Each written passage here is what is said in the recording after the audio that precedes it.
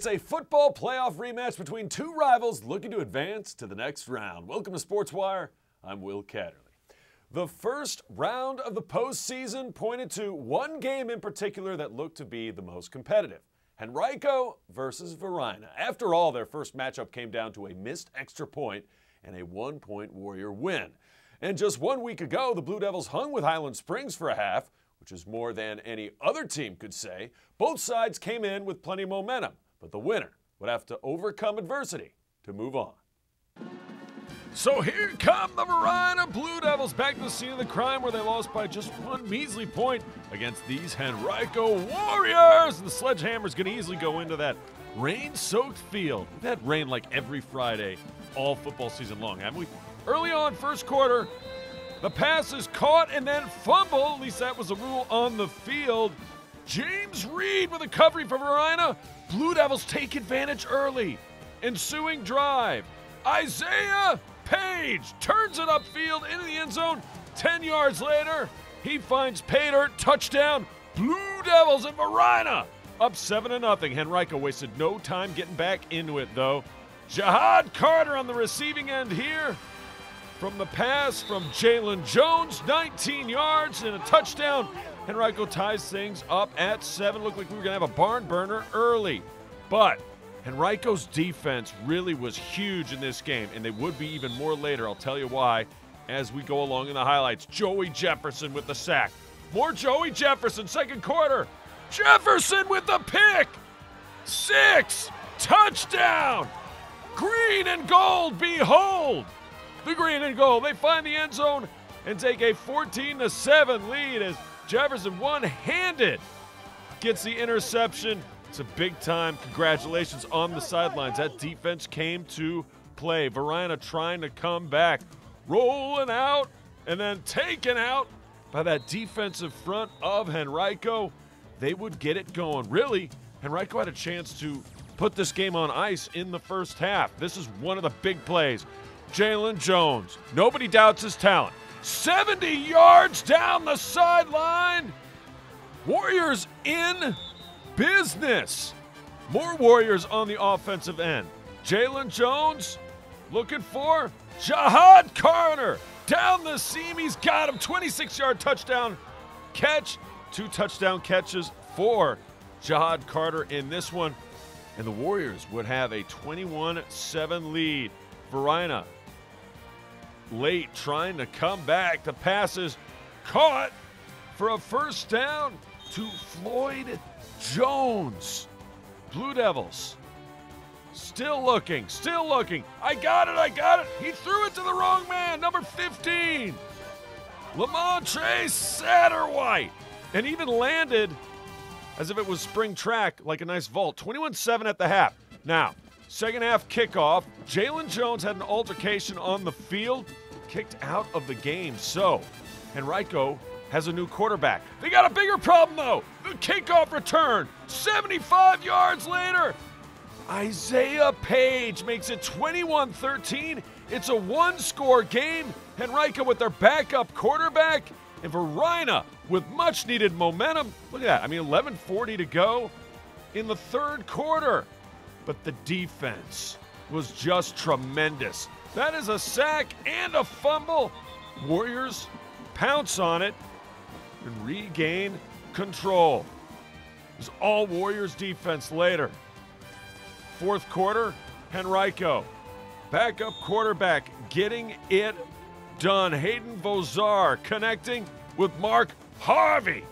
And then Harvey Gonna take it himself 20 yards out to ice this thing in the fourth. Are you kidding me? Henrico rises up, especially defensively, in that one offensive drive in the second half. And then Jihad Carter, who had two touchdown catches, to get a pick to put this one on ice. And Henrico not only beats Varina once, they beat him twice, and when it matters most, and they move on in the postseason. 28-13. You're fun. Um, just you know, stepping in as a leader. All our seniors, you know, put a pitch stand to being leaders. So I'm very, I'm very proud of that. You know, we just we had someone on our backs. You know, everybody always said we ain't gonna get over the hump. We ain't gonna get over the hump. So we just put it on our backs, and you know, we can do it. I believe in my team. Meanwhile, Glen Allen football has been setting records all year. At 8 and 2, the Jaguars have the best record in school history, and going into the playoffs, the Jags had a chance for one more first, their first ever postseason win. And if Glen Allen was going to get their first ever playoff victory, it would have to be on the road at a very good Atlee team. These two teams seeded four and five, Atlee and Glen Allen respectively. First quarter, Donovan Riddick looking good, connecting with the Butler did it. Chris Butler for a first down will lead to this. Same play, different target. This time it's Donovan Greenhow and Howe inside the 10. And that would lead to Faraz Muhammad from 30 yards out. Tried and true, up and good. 3 nothing Jaguars. Glen Allen defense came to play too. Looks like they're playing the old school Detroit Lions. At least got the similar looking unis. To get the stop there, let's flip the field to the second quarter. Handoff. Good for a first down. Then Riddick fires, finds Butler on the screen, and Butler to the house. Touchdown. Glen Allen with a two score advantage up 10 nothing. Now, following series, Jags are finally held up by that Atlee defense which have been playing pretty well all year, and then forcing them to punt. But watch what happens here. Fair catch. I got it. I got it. I don't got it. Glen Allen's got it. And Atlee, the miscue on special teams, going to pay dividends for the Jaguars. Riddick calls his own number all the way inside the 20, inside the 15 yard line.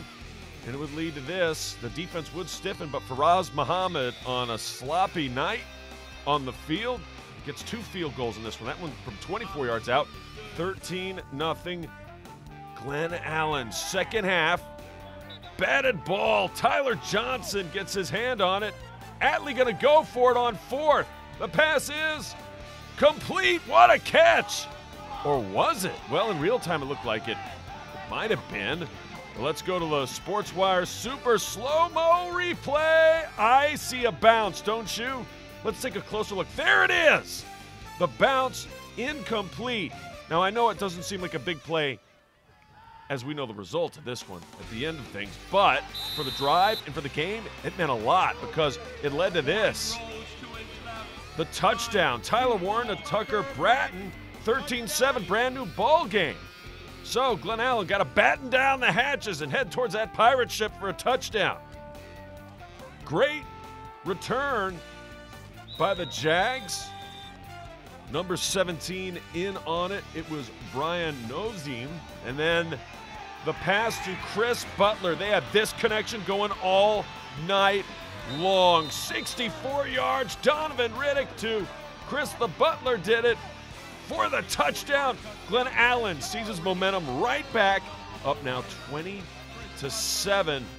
At that point, fourth quarter, Warren, the keeper, Atlee, two scores, you know, not out of it. But couple plays later, they fumble the snap, and Caleb Vernon all over it. Glen Allen's got it, and he can take advantage. Riddick finds Drew Morris just as they drew it up to the end zone. Touchdown. Glen Allen can taste it now, up 27 to 7 in 8 and 2 regular season. First playoff victory on the way in the Jags. Trying to keep it going, but Atlee not, not going away just yet. Warren to Oliver. And they're going to follow that up with a three yard run to pay dirt by Isaiah Abel, and he's more than able to score the touchdown. I made it 27 14, but too little, too late. 5.26 to go. Atlee going to try an onside kick, but Gavin, be my Valentine with the recovery. And Jags going to take advantage of the short field. Riddick calls his own number as he's done a lot this season. 47 yards to Pater. Touchdown! Jaguars! And Glen Allen gets it done. They make history. First time in school history. Jags win their first ever playoff game 34 14. They are moving on. We hit the courts for volleyball and the field for field hockey, where Deep Run looked to continue their tremendous run, while the regional volleyball title match lived up to its billing when the Wildcats and Jaguars faced off. Highlights are straight ahead.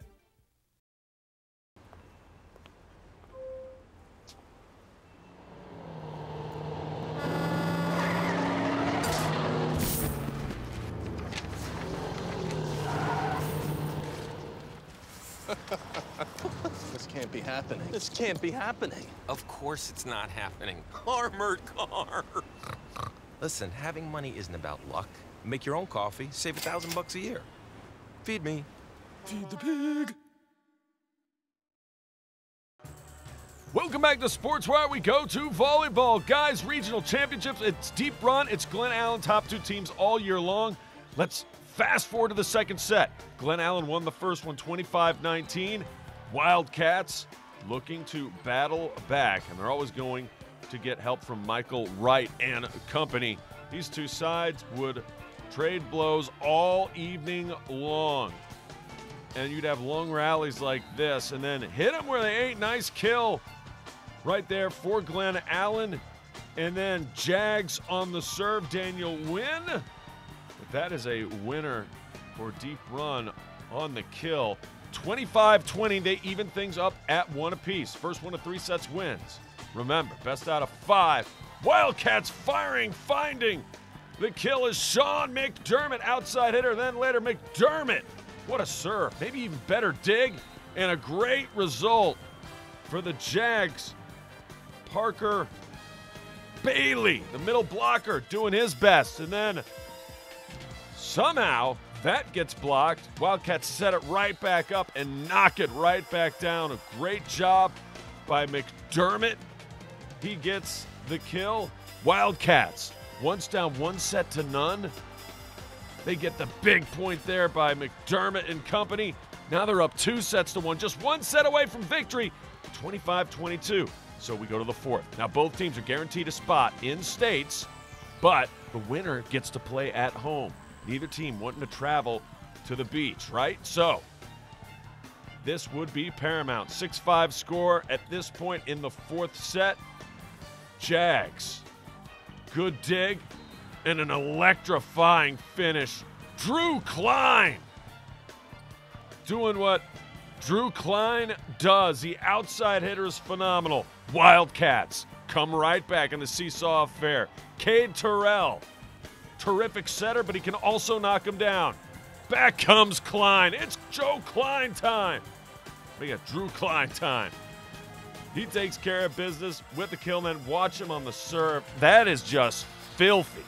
25 21. Jags win the fourth set. So we go to the fifth. First one to 15 wins. Got to win by two. Tied at eight. And guess who? It's Klein time. 9 8. Jags. Later, Bailey on the serve. 12 11 at this point. They get the point there. Make it 13 11, and eventually they get the winner as well. Glen Allen celebrates as they should. As Klein gonna hoist the hardware. Jags win in five. Uh, well, when I got behind the line, my coach was like, "Come on, you got this. Let's end it here." And I, I went for it. I went all out on that serve and just went for the ace. I, I wasn't holding back.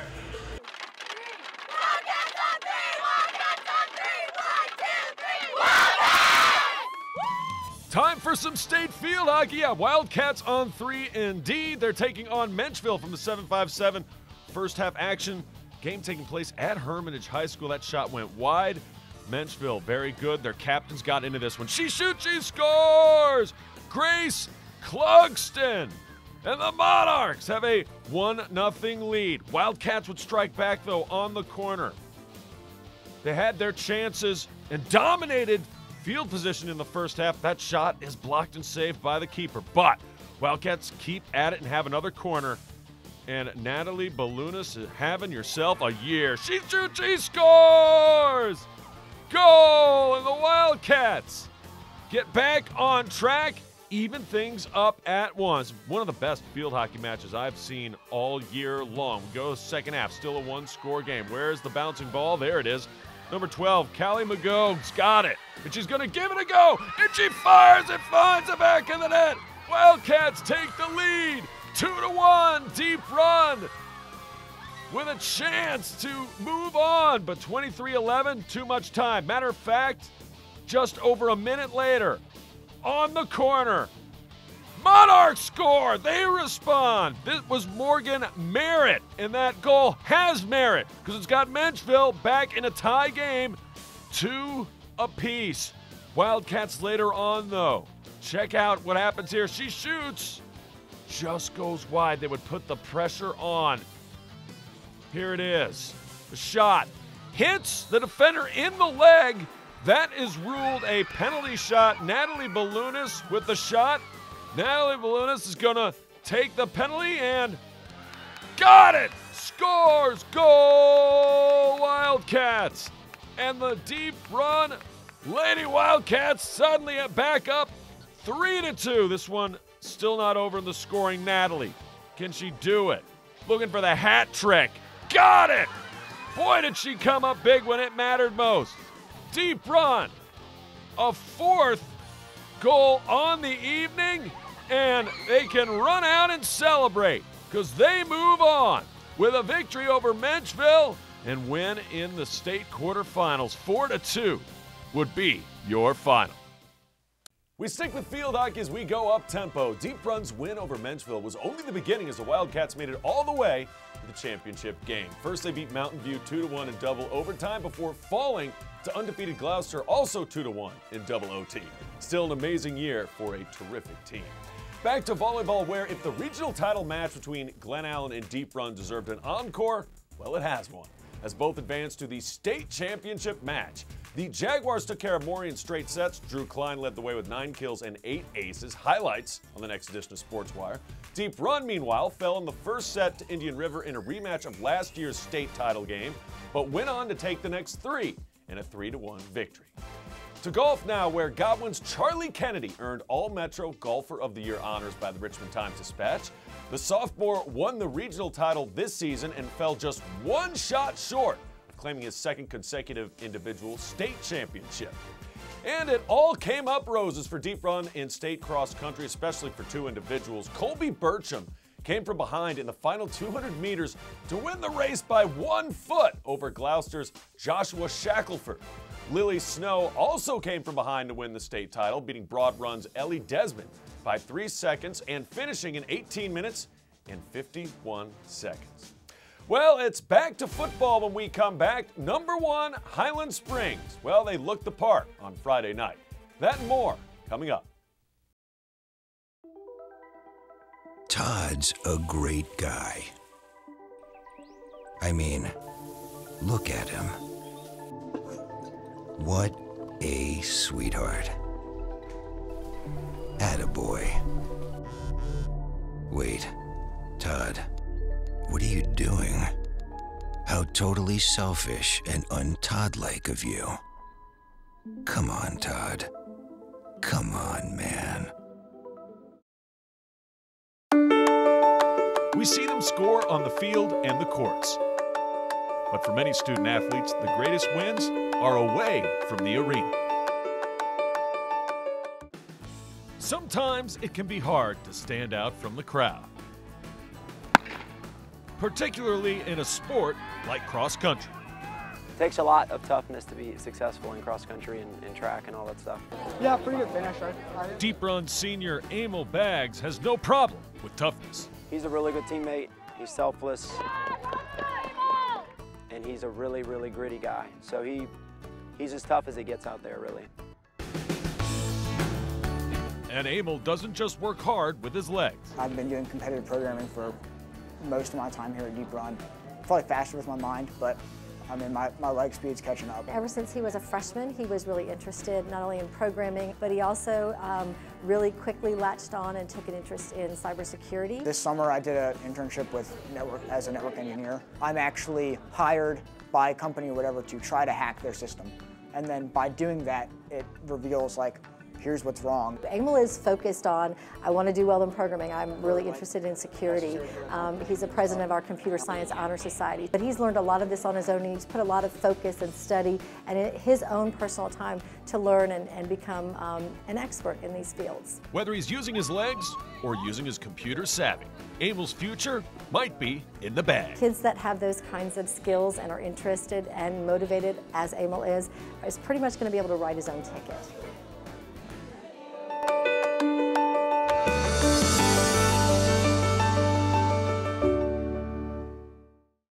And he's even a Boy Scout. Good luck to Emil in all his endeavors. Hey, if you have a nominee that you think deserves a spotlight, we'd sure love to tell their story. Send me an email to this address, sportswire at henrico.k12.va.us to let us know. Back to the football postseason. Highland Spring Springers, number one seed, taking on the eight seed Deep Run. Remember, Deep Run got into the playoffs by beating Godwin last game of regular season. Down 7 0 already as the Wildcats. And oh, they had him. Oh, did they have him? Number 10, Gabriel Henderson just could not corral it. Highland Springs makes you pay. Don't give them extra opportunities and not take advantage of your own. Kerry King Jr. on the catch from Devontae Waller. And then Waller, yeah, they moved this game to Hermitage too, just because brand new field, nice field conditions. The touchdown run, Springers. Talbert from Waller.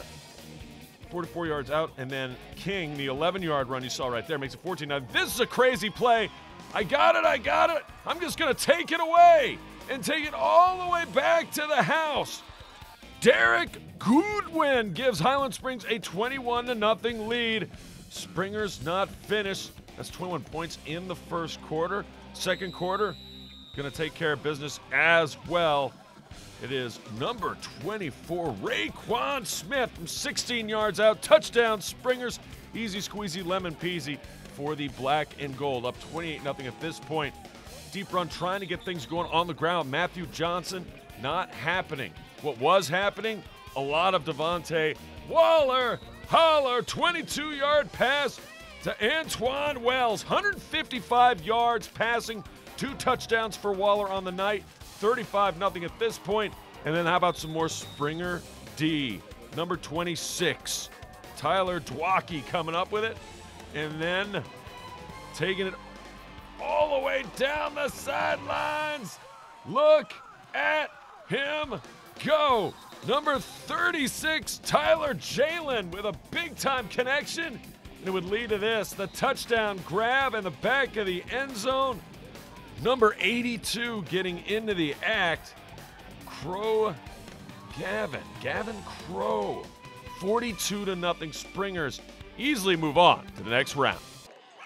Douglas Freeman playing at LC Bird. It's a wet track here. Get your base. We still got to pursue downfield. Get your base and rally to the ball. Words of wisdom, because that's what they would do right off the bat. First possession, rally to the ball. It is a wet field. Fumbalaya. Freeman recovers, and the seventh seeded Freeman Rebels get just the start that they need against the second seed LC Bird Skyhawks. And you know what this guy can do wet field, perfect field, concrete, whatever. Patrick Taylor to the house. Touchdown. Freeman of the Rebels. Rally with a 7 0 lead. 6.22 to go in the first. And then LC Bird showed why they're LC Bird on the handoff. In the mud, Trey Mason from Jaden Payu on the handoff. Tie game at 7, 3.54 to go in the first. Skyhawks really got it going defensively and offensively, and running the football is what they do best. Mr. Mason again.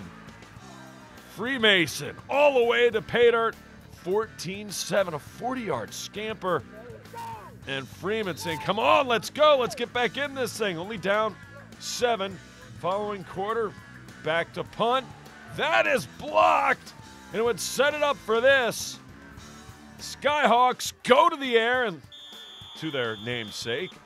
And it's Paiute finding Mikhail Anderson 21 7.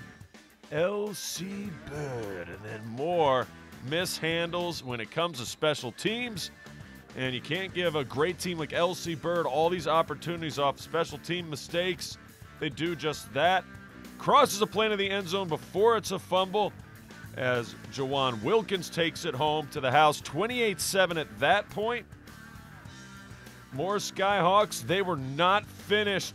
Patience in the backfield. Jaden Pay waits for his blockers.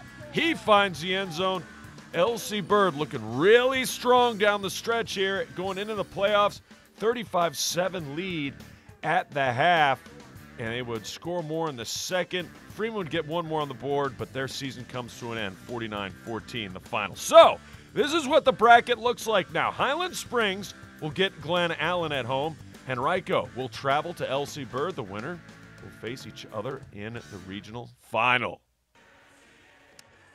YMCA, everybody do the YMCA. It's Atlee, it's Godwin, it's the regional finals in ladies volleyball. Godwin looking good, hadn't lost all year long.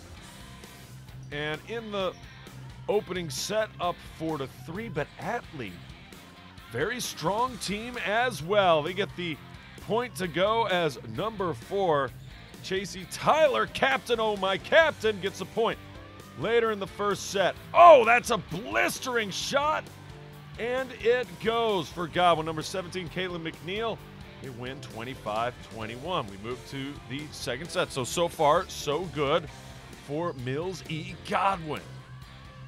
Atlee trying not to go away. Godwin again with another good looking shot right there. Carmen Wright not doing any wrong. Atlee on the serve and then getting that one to go. Number 27, Kara Hammock with a point. Still in the second set.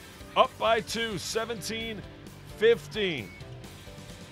Atlee, what a kill shot that was. And the Lady Raiders take the second set 25 17. Now, both teams guaranteed to go to states, but just as in the guys' regional final, the winner go stays home. Loser has to travel on the road to the beach. That shot up and in. Atlee got momentum going.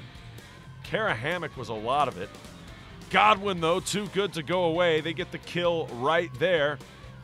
Later, Eagles on the serve. 2019 Atlee at this point in the third set. Hit them where they ain't. That is good for the kill. Raiders win the third set 25 21. We go to the fourth. 4 to 2. Godwin going to get back into it with some aces. That one is good to go. Later, Godwin up two. Just somehow trying to get it over.